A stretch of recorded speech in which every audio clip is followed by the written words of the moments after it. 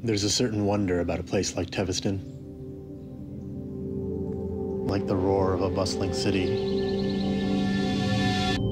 The quiet can be deafening. When you look around, you don't see many people. Even when you try to find them, they're, they're hard to spot. Farmland stretch past what the eye can see. At first glance, it seems so much more different than a city like Los Angeles.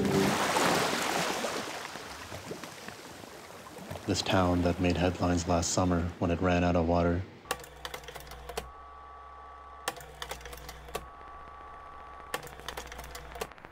Their problems seem so foreign.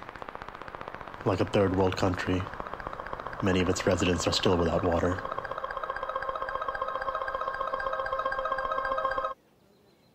Water delivery. That's the new normal here.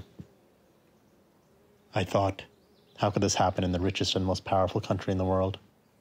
How could we abandon this town to this new normal?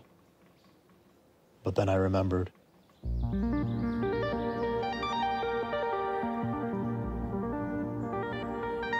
Abandoned by their government. Left to fend for themselves. Forgotten.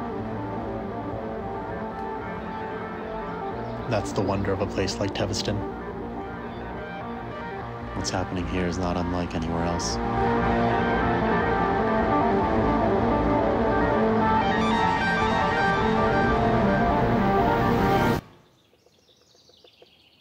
Because in many ways,